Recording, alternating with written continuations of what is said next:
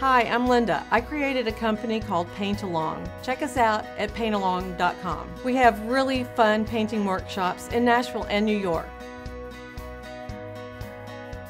When you buy your acrylic paints, you may want to initially spend some time just getting to know how they work together, how they blend, and how, how much paint it takes to make a secondary color.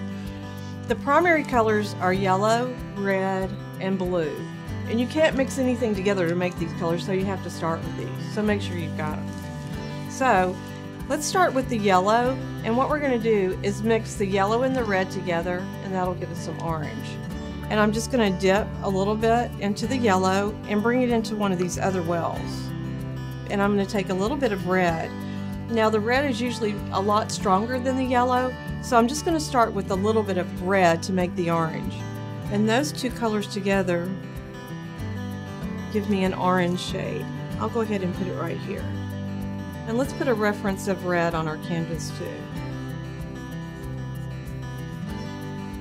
So coming on around, we'll take some of our red and we'll put it into another well. And then I'm going to mix some blue into it. This will make purple. When you're mixing your colors, whatever you're working on as far as your subject matter, just make sure you mix enough paint so that you can get through your project without having to remix. Because sometimes the colors come out differently when you start over again. Here's my purple. And then we'll put a reference of blue on here as well. So I'm going to take a, a little bit of the yellow and put it into the well here. And then taking some of the blue and mixing it to the yellow.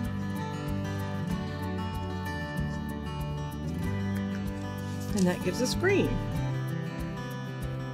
So now we have formed our primary colors, yellow, red, and blue, and our secondary colors, which are orange, green, and purple. And that's how you mix your paint.